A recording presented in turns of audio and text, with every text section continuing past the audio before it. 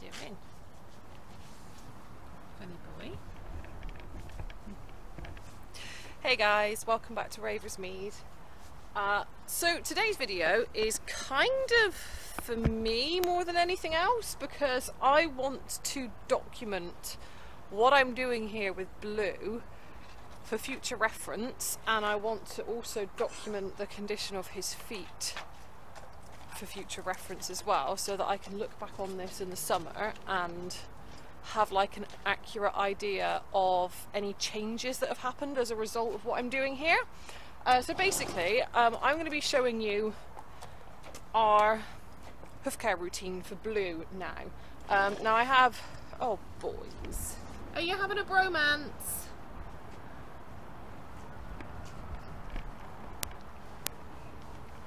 Are you having a bromance?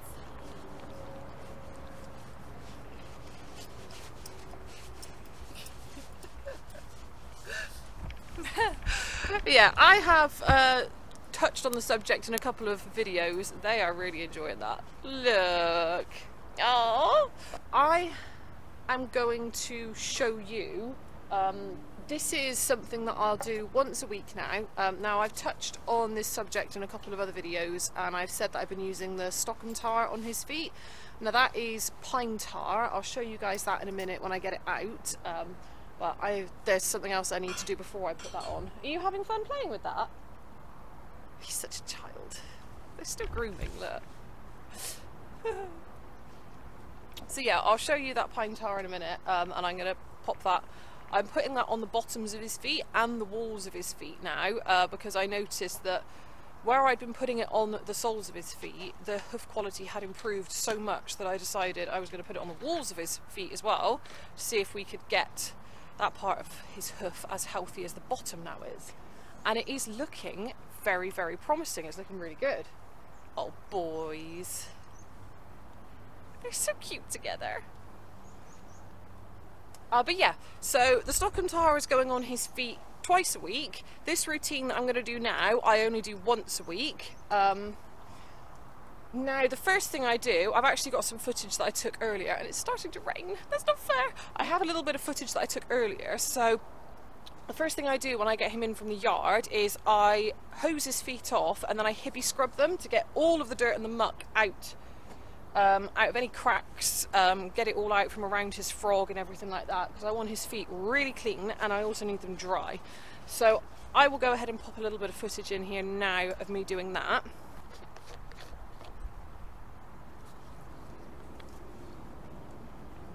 Hello Taz.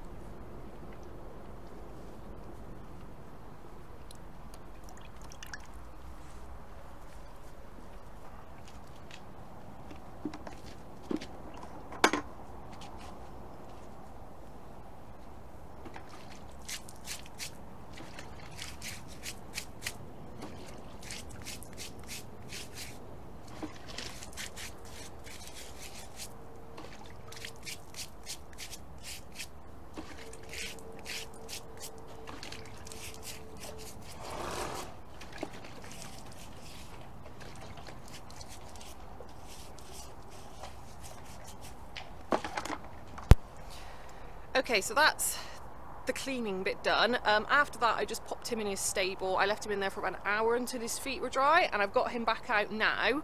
Um, and now I want to rasp his feet. Now, I should say, like, I am not a farrier. I have no idea what I'm doing other than I know I need to take any curly bits off that are starting to peel up and I just want to even up the edge of his foot. I'm not trying to shape his foot, I'm not trying to make any changes to his feet. I am literally just, I mean, it's like the equivalent of filing your nails. I'm literally just going around the edge and tidying up any scruffy bits because we find if we leave those scruffy bits, they tend to split and then the splits go up the foot and then we end up in an even bigger mess. Uh, so we were advised by our farrier to do this, um, so I'm going to show you guys that. So, oh yeah, this is my new toy. I was given that by my boyfriend for my birthday, which made me really happy because I love useful things. Thank you. uh, but yeah, so that's my little hoof stand. So if we have a look at his feet before I get them, uh, before I get the rasp, sorry. So we've got a few little bits like this and you can see they are due a trim next week but you can see they're just a bit scruffy and there's all these bits flaking and peeling up. Um, his backs are the same pretty much. Um, I just want to give all of that a tidy up. That's quite a bad bit, I don't like that. But they are getting trimmed in a week so it'll be okay. Um, this here is just a build up of tar which um, I don't know if I should take that off or not really. Oh wow, the quality of the hoof underneath that is unreal. Oh my goodness. Blue, you've got actual horse hoof under there. Wow. Oh, that's amazing. That is amazing. Yes, yeah, so this here, this is the hoof tar. That's just a build up of it that's on his feet from where I've been putting it on. But underneath that build-up, look at the quality of that. I don't know if the camera's going to do this justice. But down here, it's all like grainy and liney and really brittle. Oh, well done, Bluey. Really brittle and horrible. But up here, wow. Wow, he has proper hoof! That's so cool! I'm literally so happy I hadn't noticed that. Cool. Okay. Well, in that case, I don't think I'm going to peel any more of that off. I'm just going to leave that on there and put more on. I mean, I should probably maybe scrape it off once a month or so, just so he doesn't get an excessive build-up, but that is doing a great job. That's awesome. Yay. Uh, yeah, so, rasping time. I'm going to pop you guys down. Hopefully I'll be able to get some good shots for you. Like I said, I really don't know what I'm doing. Um, I may have to move him, actually because this is not going to be productive to me being underneath his feet. Woody, can you go and eat some hay, please, so I can do Blue's feet? No, I'm gonna, I'm gonna have to move him. This is just not going to go well otherwise. Come back Mum. Yeah, I'm sorry to break up your bromance, but I need to know that you're not going to fidget and stand on me by accident. Okay? Well done. Good job. You've messed up your hair now. I just brushed all of that. He's messed you up. Okay, so I'm gonna attempt to get some good footage of this. I don't know how well this is gonna go. So I use the hoof stand for the rasping, just because um, I find it really difficult. Like, I don't know how farriers hold horses' feet the way they do. I genuinely don't. Um, so yeah, all I'm going to do here is just take these little wispy bits off. I'll give you a closer look. Actually, now I've got his foot up. So all these little bits here, I'm just going to tidy that up. Oops. Don't fidget. Don't do it. Don't do it. That.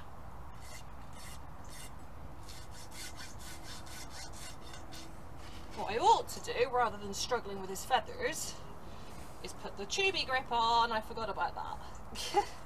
That's a little trick I learned from a farrier as well.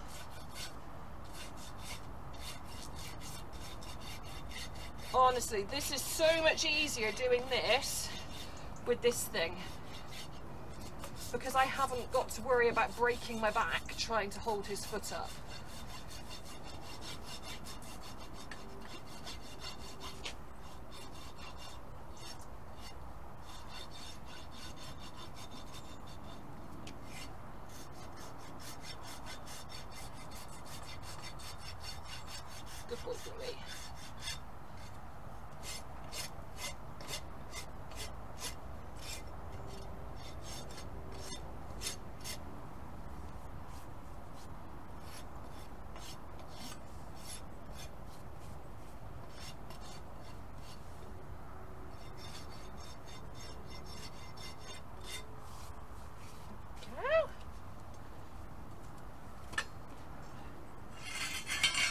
boy.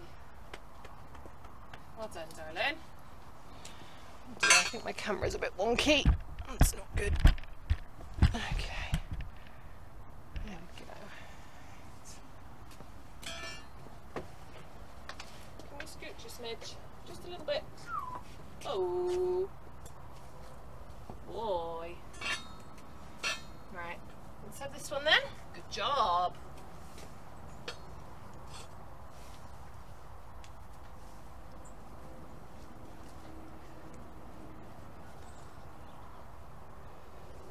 Job, Bluey.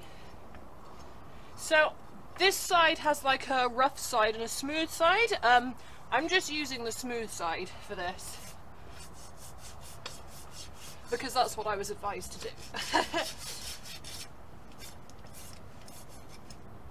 horrible Don't fidget, don't fidget.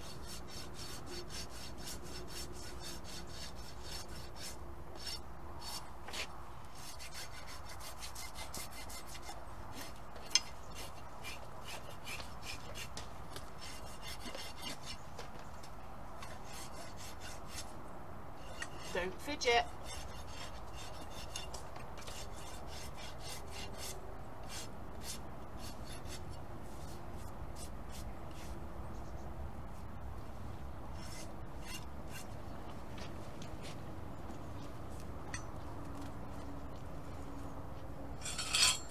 Good boy.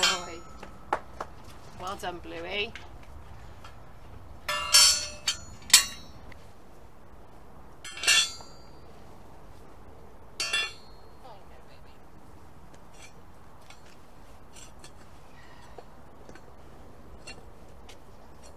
Don't fidget.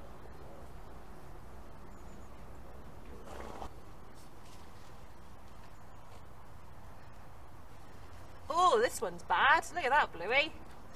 That's awful.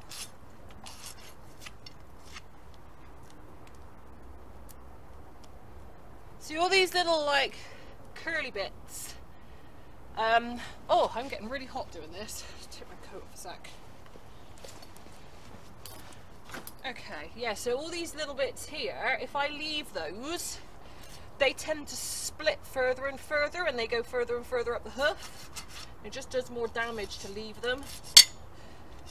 Yeah, see, I struggle with positioning myself. Like, doing the front legs isn't so bad. Doing the back legs, it's hard. okay.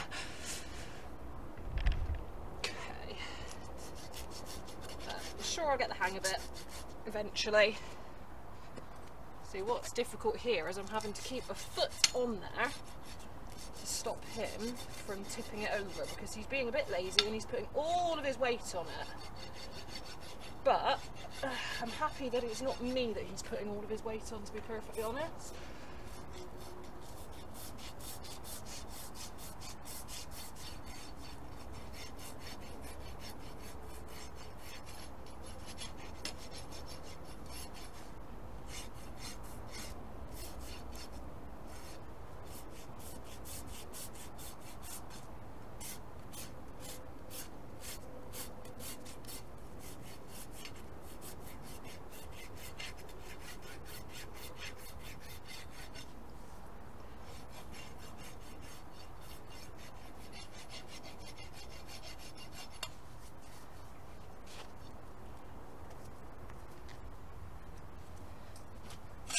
Good boy. Well done, darling. Zoe then. Come. Yeah, come on.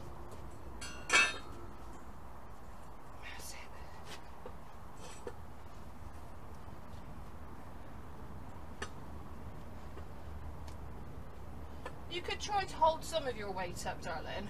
Would that be too much to ask? I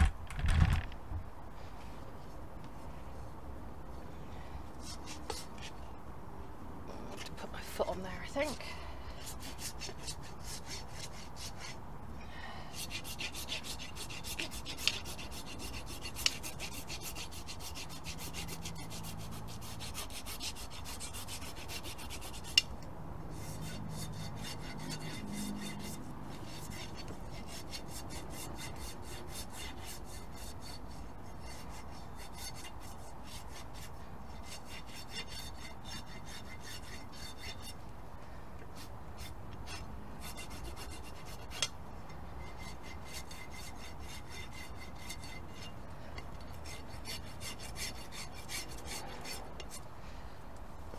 No, don't tip it. You monkey. This is hard, people. Seriously, I have so much respect for farriers since trying to do this. It is like hard. Because where he's got all of his weight on it, it's kind of wobbling the tripod around. And I mean, to be fair, a lot of farriers will do this. Like holding the foot. Like they won't even, won't even do this with the tripod. So they're holding that weight. Like hats off to farriers everywhere, seriously.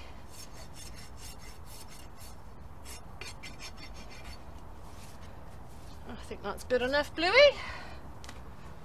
Not too shabby. Oh, a bad bud.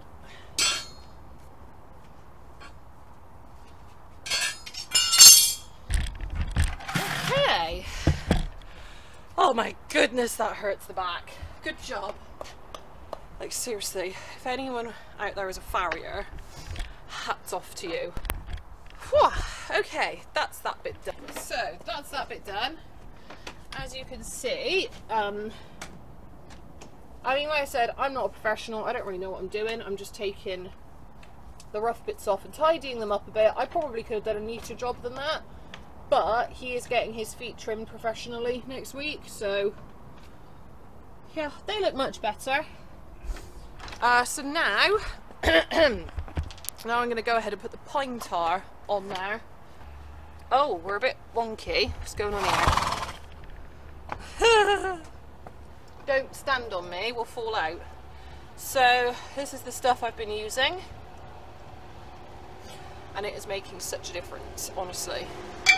Uh, that's what it looks like, it's minging and I need to get some more. I will have to go out somewhere today and see if I can get some of this. Uh, but yeah, it's pretty gross, pretty thick, kind of like treacle.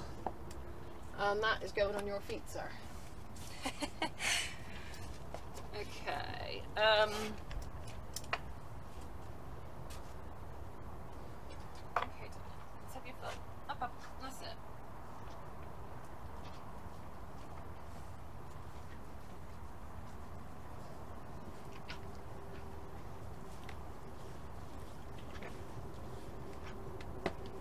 You don't need the stable.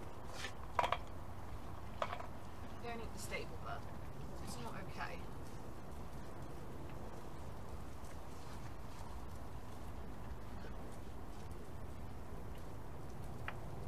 Now of this stuff, hello, have you got pieces of wood stuck in your teeth? I don't really have much sympathy. You shouldn't have eaten the stable wall, should you? Silly. Silly. Uh, yeah, the only downside of using this with these horses is that it kind of sticks to their feathers, but given how good it is, I really don't care. Like, I will take, I will take sticky feathers for the benefits that this stuff gives. That's fine in my book. Up, up.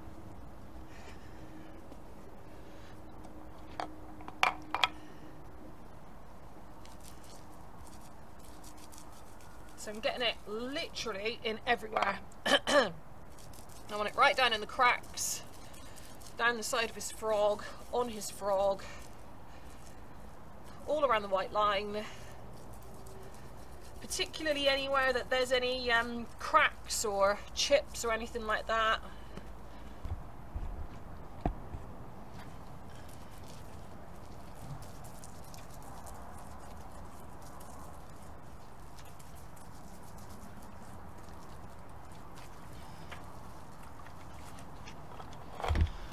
Actually, one more thing I've just realised that I want to document is what the underside of his feet look like. Now, I wish I'd done this a couple of weeks ago when I started using this stuff because that did not look like that under there a few weeks ago. Um, definitely not.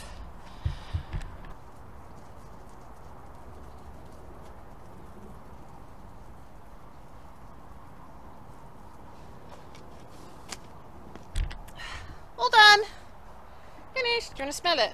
I don't think you want to eat it. Or maybe you do. I don't know. I am covered in it now.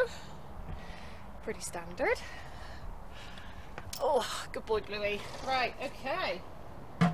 Well, there you go. That is my current hoof care routine for this one.